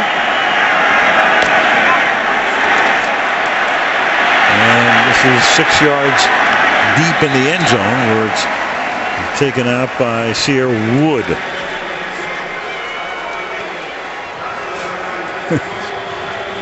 Harbaugh with Davis. You know, Jim Harbaugh is one of those guys. It would be fun to play for. He is, he's like one of the guys. You watch him in practice, and half the time he's rushing the quarterback, half the time he's snapping the ball, he's running around the huddle. You can tell it just about kills him that he doesn't get to play quarterback anymore, but it's the next best thing coaching this team. Well, now you've got Yates in the game, so they do have to make the quarterback switch at 31 to 3 and it's T.J. Yates, third year, North Carolina, picked in the fifth round in 2011. Team went to the playoffs for the first time ever. Schaub got hurt at the end of the regular season, and Yates came in and led them to a playoff win against Cincinnati. So Matt has the helmet on and all of that, but uh, at this point, Kubiak has seen enough for tonight. Second and eight. And this is Tate again busting his way through the middle and then the ball is stripped out before the end of the play. And the 49ers as it bounces around come up with the football. Tarell Brown winds up with it. The play is still alive and he's out of bounds. Donte Whitner with the tackle. A flag came in late after the run back, but it was Whitner who came in and never gave up, and Tate loves to fight for yardage, and that's how before he goes down, the ball comes loose. After the ball was dead, personal foul, offense number 76, late hit, half the distance to the goal, San Francisco ball, first down. And that's the uh, left tackle, Duane Brown. It's a great play on a couple of fronts there. The rookie, Eric Reid refused to let Tate go to the ground. Kind of holds him up almost to give Whitner, Hitner, whatever you want to call him, a chance to rip that thing out of there. Uh, you know, what else could go wrong or right depending on your point of view?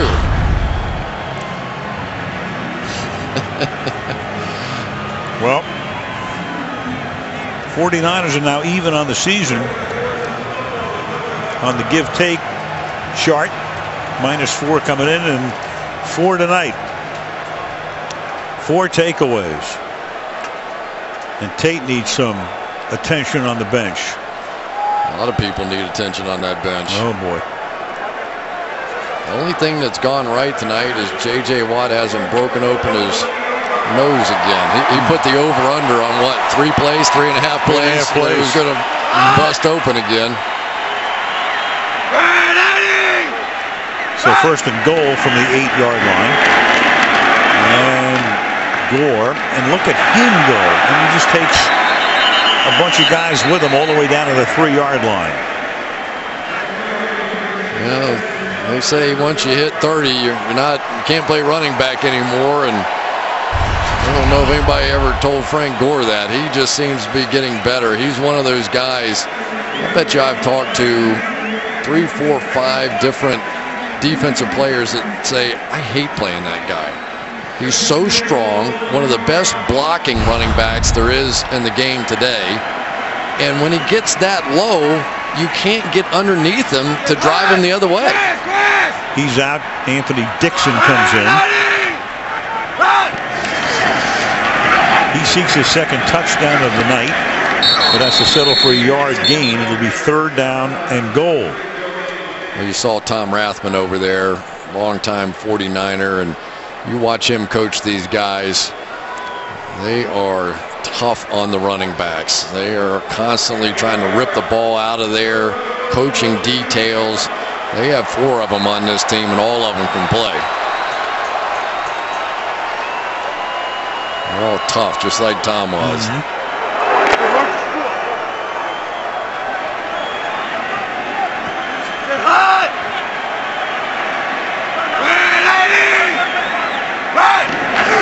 Third and goal. Nixon again, and he's going to try to plug his way through. And Brian Cushing is there to stop him, so it's fourth down and goal.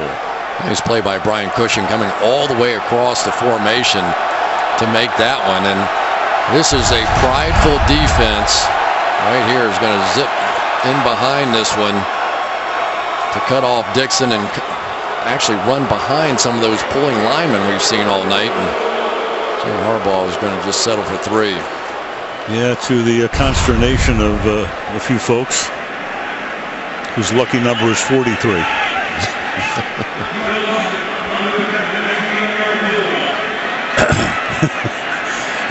to clear my throat here. Here's Dawson now for a 19-yard field goal attempt, and uh, Carey is going to throw the flag for delay. Five-yard penalty, still fourth down. You rascal. As Jimmy Johnson once said, it's good to have a little rascal in you. Jimmy Johnson has a lot of rascal in him.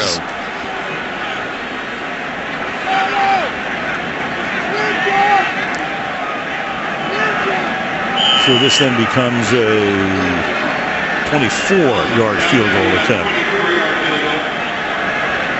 David Akers was here last year injured and had a bad year, and they went into the market. Trent Baalke did, and came up with Dawson. Kicking as well as ever. Foghorn denotes it's 34 to 3. Sort of. NHL season off and running on NBC Sports Network. Blackhawks Blues rivalry Wednesday night at 7 Eastern Time. And it's a shot of the Bay Bridge.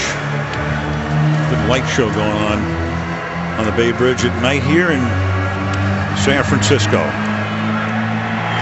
49ers putting on a pretty good light show themselves tonight. It's dropped in the end zone and then Wood wants to come out. the guy said, no, no. 34-3. So the Texans go home. They have the Rams next week in Houston. Then they go to Kansas City. Chiefs at the moment 5 0. Then a bye week. Then we have them on a Sunday night against the 4 1 Indianapolis Colts. Yates in at quarterback. The ball is at the 20 yard line, and Yates will set up the screen to Foster. And he'll pick up six. So Gary Kubiak is going to have a decision to make this week. He may have already made it. Gary knows about backup quarterbacks. He spent his whole career backing up John Elway. What do you think he does next week? My opinion is not going to be very popular in Houston, but I think he's going to stay with Matt Schaub. Uh, if you compare these two quarterbacks, TJ Yates, do I think he's a good backup? I do. Do I think you're going to win a Super Bowl with him? Probably not. Uh, now, the way Matt Schaub is playing, you're not going to win anything either, but at least he's a guy with a track record of being able to play at a high level in this league. Demarcus Dobbs, the man who's down. We're back at his second down and five for the Houston Texans at the 25 yard line. And this is Foster close to the first down we left you with uh, Demarcus Dobbs going down, but he got right up and came off.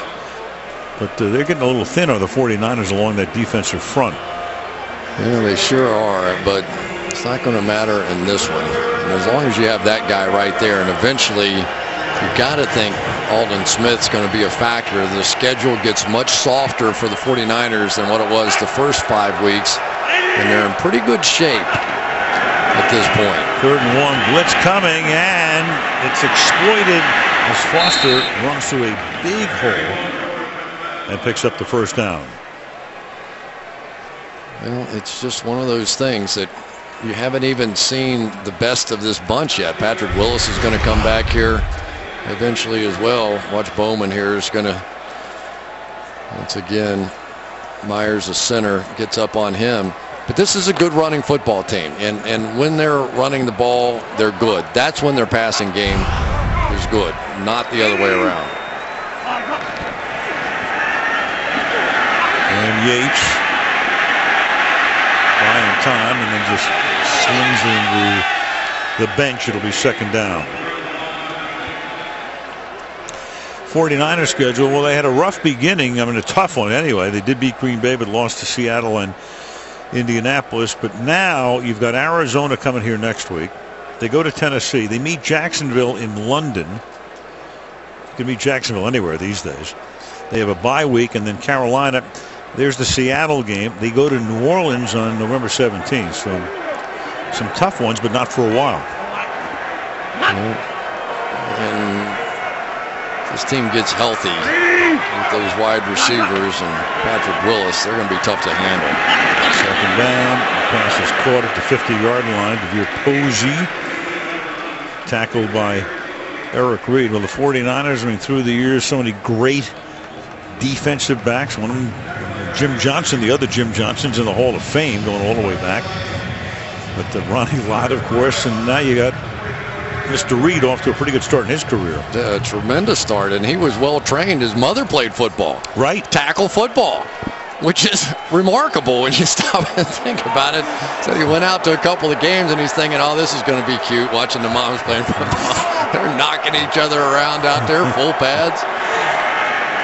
Third and five, and the pass is caught over the middle, and it's hauled in by Owen Daniels for a first down. And there is uh, Sharon Guillory Reid playing for the Baton Rouge Wildcats.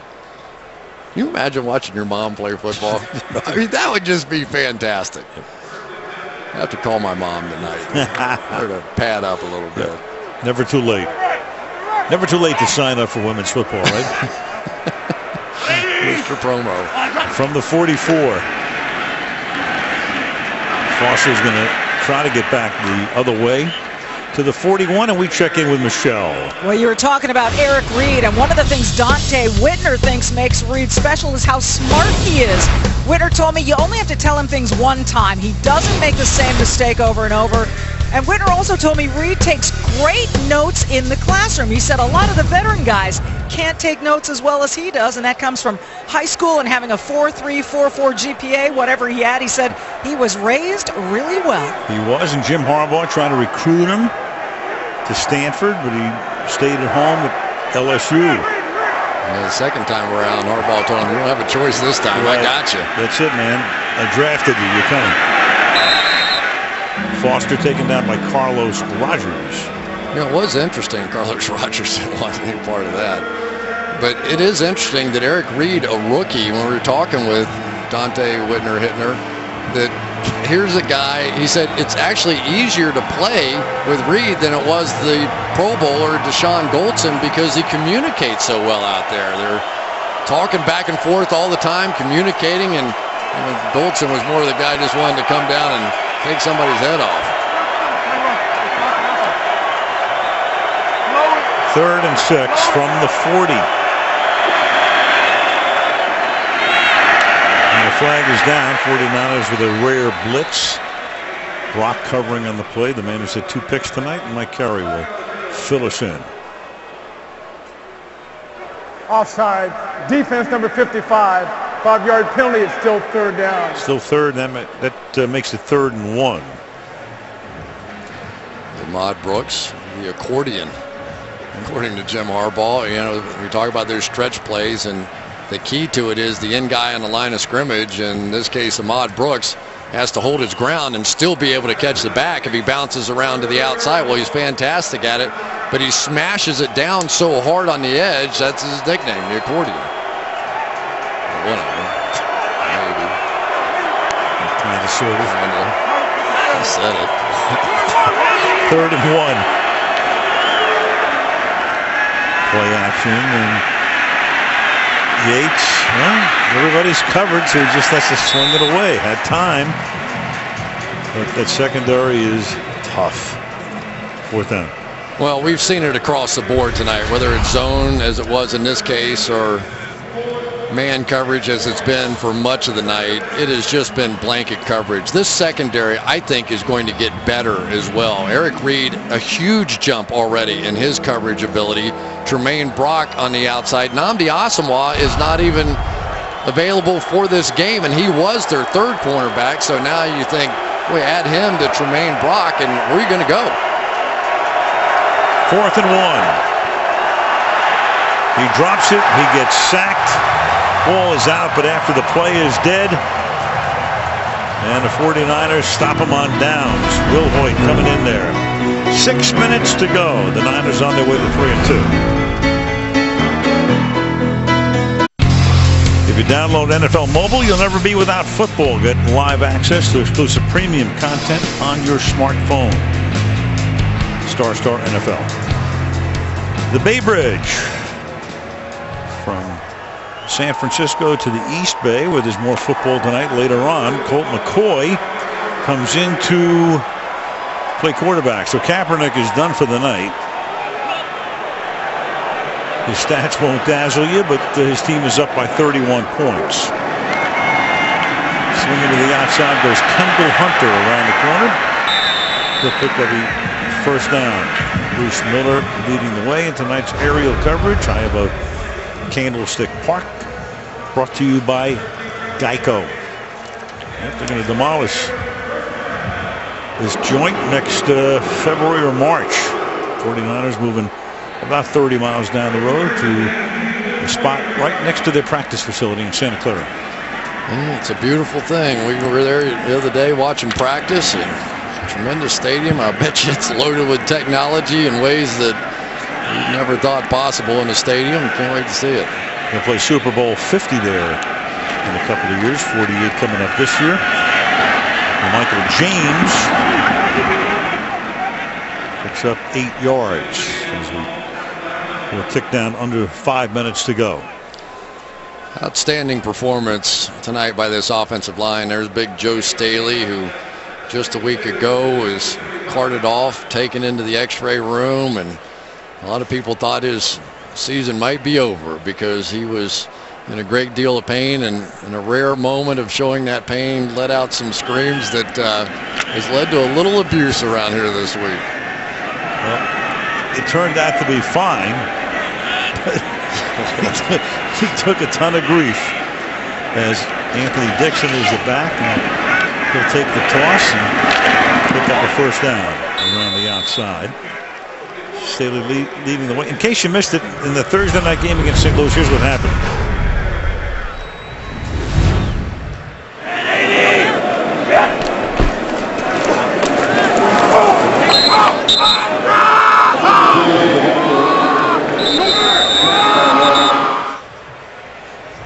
Well, he came off the field.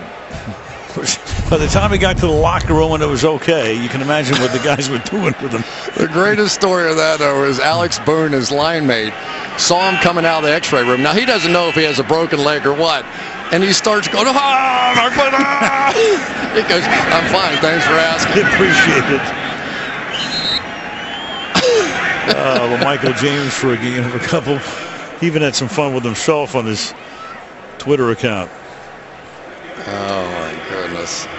It's just one of those things in a locker room that will live on forever. Mm-hmm. I mean, no matter when you need a little break in the action. Now, Joe Staley, make no doubt about it, this guy is, he's the best they've got on this offensive line. Tremendous Pro Bowl player. Went through a streak at the end of last year, played as well as any tackle in football. His whole run through the playoffs was pitching shutouts against everybody out there playing with a big big bubble on his ankle tonight, but uh, that won't be what they remember after he just played that. And Michael James takes the ball to the 15-yard line behind a Miller block. So because of the route tonight, James seeing extensive action here. Gore carried 17 times for 81 yards, and James now four totes for 31. Right, let's give him a little love over here. Joe Staley, watch this block. This is what he does all the time, and that's the reason he keeps going to Hawaii and Pro Bowl and All Pro and all those kinds of things. He's that kind of a player. Pretty funny guy, wasn't he? Good oh, sense yeah. of humor. He's the the uh, seatmate for Colin Kaepernick when they go on road games, and He says he just tries to keep Colin loose. And Anthony Dixon is going to take us to the to the two-minute warning. Pair of minutos remaining. Candlestick Park, all 49ers. 34-3.